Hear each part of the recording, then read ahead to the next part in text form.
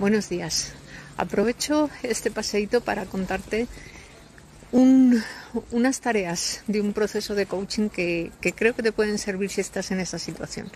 Mi cliente lleva como dos meses y medio aproximadamente eh, en paro. Lo han despedido después de, de dedicarle unos 25 años laborales a, a, esta empresa, pues han decidido que ya, que ya no se necesitan sus servicios y esta, esta mujer es una, es una chica, eh, tras, tras ese meneo que le han pegado, eh, quiere reorientar su carrera profesional y lo estamos haciendo a través de un proceso de coaching. Sus primeras tareas de proceso es buscar aquello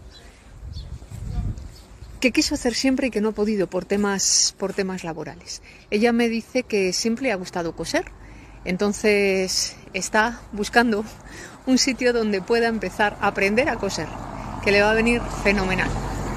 Y otra de las tareas es potenciar sus núcleos de pertenencia, aquellos sitios donde se siente ella, eh, ella misma y le nutre. Pues esas son sus dos primeras tareas de proceso por si te sirven.